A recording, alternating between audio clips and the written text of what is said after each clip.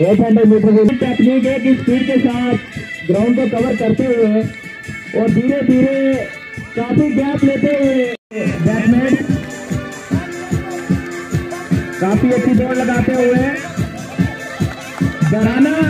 Nepali girls government high school Darana Aliza government high school Saki Maidan, Mehreen Khan.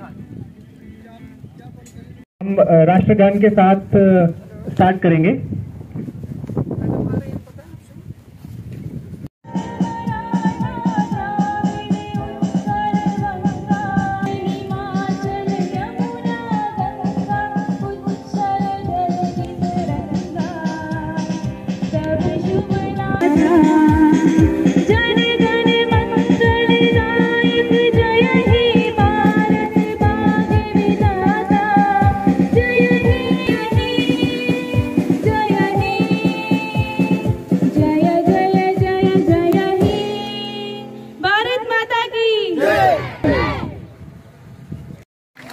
Second Shabana Kausar Saki Maidan.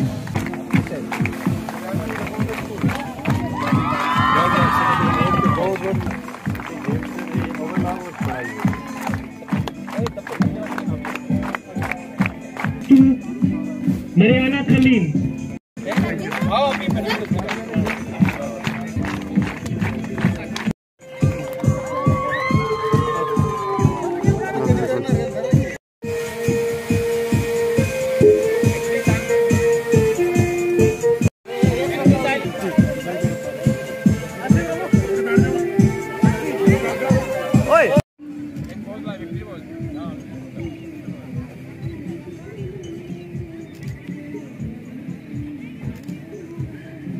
Secondly हमने athletics को क्यों चुना? Because मैंने देखा था कि यहाँ पर गर्ल्स की पार्टिसिपेशन के लिए एथलेटिक्स ज़रूरी है बिकॉज़ गर्ल्स जनरली क्रिकेट कम खेलती हैं या फुटबॉल कम खेलती हैं।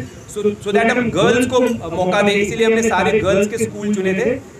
सो दैट गर्ल्स जो है खेलो इंडिया मिशन ओलंपिक्स में थोड़ा ध्यान दें और यहाँ पर बिकॉज़ हिली एरिया है एलसी का एरिया है यहाँ पर फ़िज़िकल फिटनेस वैसे ही सिटी से ज़्यादा होती है सो दैट सो दैट आप एथलेटिक्स में ध्यान दो जहाँ आपका स्कोप आगे जाके कुछ करने का ज़्यादा है। राधर देन पूरी एनर्जी अगर आप क्रिकेट में एक ही गेम में लगाओ बेटर है कि आप एथलेटिक्स की तरफ़ भी आपका थोड़ा ध्यान हो।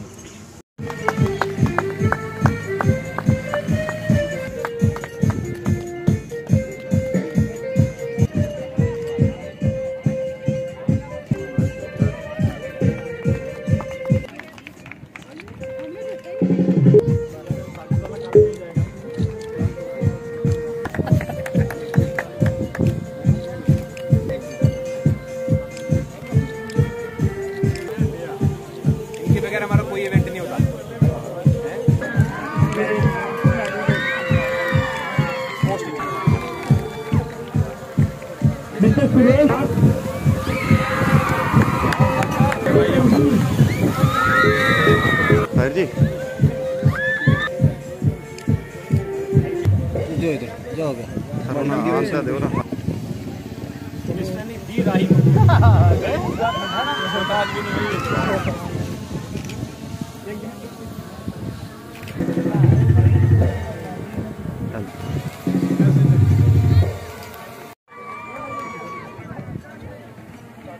thank you sir Indian army जिंदाबाद! इंडियन आर्मी जिंदाबाद!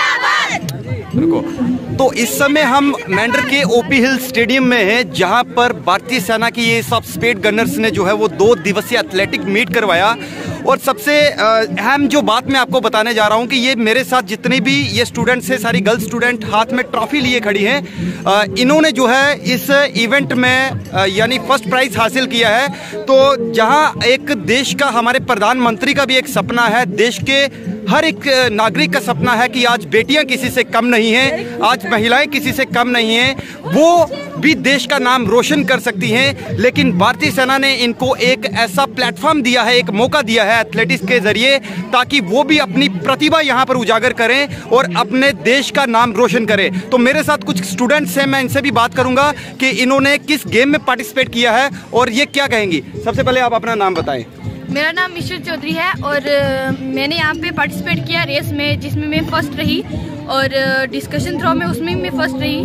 तो मैं ये कहना चाहूँगी आर्मी वालों को और यहाँ जिसने ये मतलब ये यहाँ पे करवाया तो थैंक यू उनको मैं करना चाहूँगी कि लड़कियों को भी यहाँ पे मौका दिया और मैं उनसे यही रिक्वेस्ट करूँगी कि आइंदा भी यहाँ पे वो ऐसा परफॉर्म करें कि लड़कियाँ भी कुछ कर सकेंगी वो भी इशरत इशरत मेरे को बताओ कि आप कहाँ के रहने वाले मैं बेरा की रहने वाली अच्छा तो आपको लगता नहीं है कि आज बेटियाँ जो है वो किसी से कम नहीं है? बेटियाँ हाँ बेटियाँ किसी से कम नहीं है। है ना? तो आपको ये जो आर्मी ने मौका दिया है तो क्या आपको लगता है कि इस तरीके के हमारे गवर्नमेंट को या हमारी एडमिनिस्ट्रेशन को भी ऐसे इवेंट करवाने चाहिए? हाँ ऐसे इवेंट बार बार करवाने चाहिए ताकि वहाँ उसमें लड़कियाँ भी तो क्या आप आप कौन सी क्लास में हो? मैं अलेवंथ क्लास में तो क्या एम क्या है क्या सपना है आप क्या बनोगे? मेरा सपना है कि मैं डॉक्टर बनूं। तो आपने यहाँ पे देखा एक आर्मी के डॉक्टर भी हैं? हाँ हाँ। उनसे उनसे मिले आप? हाँ। तो आपको क्या लगता है कि इस तरीके की अगर स्पोर्ट्स में आपको इस तरीके के मौके मिलेंगे तो आप भी आगे जाने का है कि आप अगर यहाँ मेंढर से अगर आप जीते हैं तो आगे भी जीते?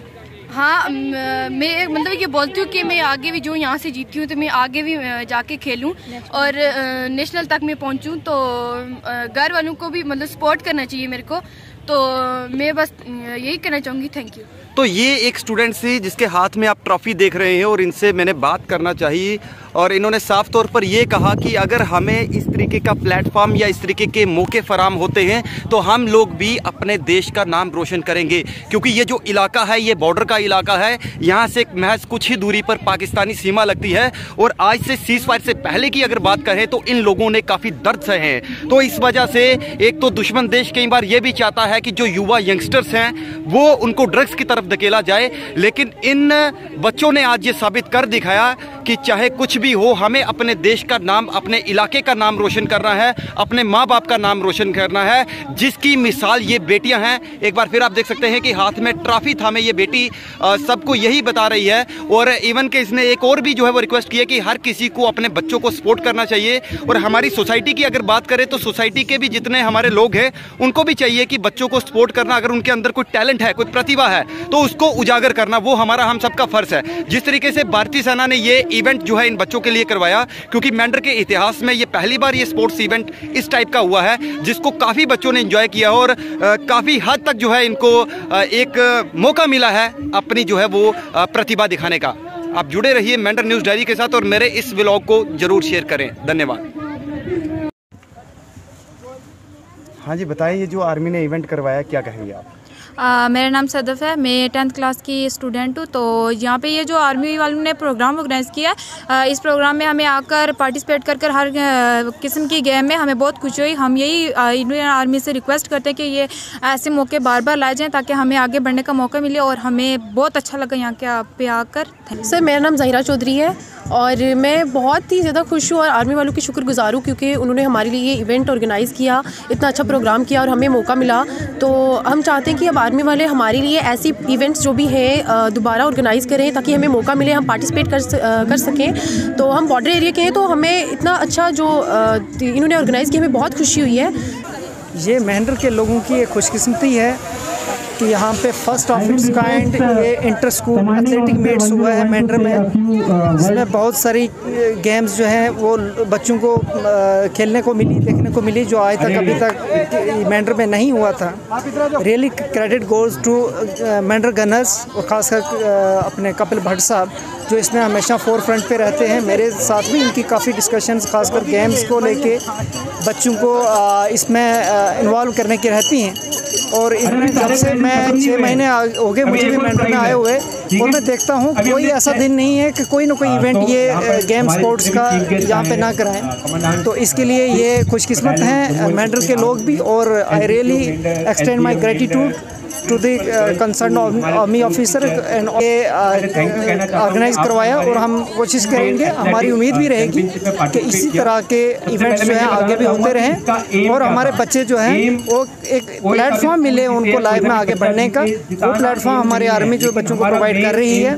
तो हमारी यही उम्मीद रहेगी कि बच्चे जो हैं गर्ल सोसाइटी से इवल से और एंटी सोशल जो एक्टिविटीज़ हैं, उनसे दूर रह के अपनी लाइफ में आगे बढ़ें। आज यहाँ आके अपने दिन भी याद होते हैं और आप सब की पार्टिसिपेशन देख के बहुत खुशी हुई कि हर स्कूल्स के बच्चों ने यहाँ पे पार्टिसिपेट किया और जो जज्बा उनका था, वो हंड्रेड परसेंट जो शो किया गया। आप सबको मुबारकबाद है। और आर्मी यूनिट कपिल सर की सदारत में जो ये एथलीट मीट हुआ यहाँ पे, मैं आपको बताना चाहूँगा कि आप सब बहुत लकी हो कि आपकी यहाँ पे इंडियन आर्मी सिविल एडमिनिस्ट्रेशन और पुलिस शाना बचाना आपके साथ चलने की कोशिश करती है और आपको जो मेन प्लेटफॉर्म है उस पे हर तरह से जो है लाने का प्रयास रहता है हम सब का ताकि जो फैसिलिटीज़ जम्मू में या श्रीनगर में बच्चों को मिल रही है, वही जो है हम आपको यहाँ सब डिविजन लेवल पे लाके दे या तहसील लेवल पे लाके दे। बच्चों, आप सब जो हो, इस कंट्री का मुस्तकबिल हो आप पे आपके माँ बाप का बहुत ज़्यादा उम्मीदें हैं। एटलीस्ट उनके लिए जो है मेहनत करो। और जो सोशल लेवल्स जैसे अभी एसडीएम साहब ने कहा कि ड्रग्स ड्रग्स जो है पेनिट्रेट कर गया है each and every household में। और आने वाला वक्त ऐसा है कि अगर इसको हमने अपने लेवल पे जो है ठीक नहीं किया तो ऐसा कोई घर नहीं बचेगा जहाँ पे जो है ये तबाही लाएगा। आप सबका जो है ये फ़र्ज़ है कि अपने भाई बहन और अपना ख्याल रखना है। ऐसी खराब चीज़ों में किसी भी हाल में जो है नहीं पड़ना है। स्टार्टिंग ऐसे होती है कि एक्सपेरिमेंट बेस पे जो है दोस्त बोलते हैं यार ट्राई कर ले कुछ नहीं होता है। एक बार आपने ट्राई कर लिया तो ये इरिवर्सिबल प्रोसेस है इस पे आगे बढ़ते जाओगे वापस नहीं आओगे। तो ऐसी सोसाइटी से दूर रहो ऐसे दोस्तों से दूर रहो और अपनी एजुकेशन के साथ साथ अपनी हेल्थ का ख्याल रखो। गेम्स में स्पोर्ट्स में अपना आप को जो है इंडल्ज करो ताकि जो परेशानियाँ, ये जो ड्रग्स या जो भी सोसाइटी में खराब चीज़ें चल रही हैं, इससे आप दूर रहें।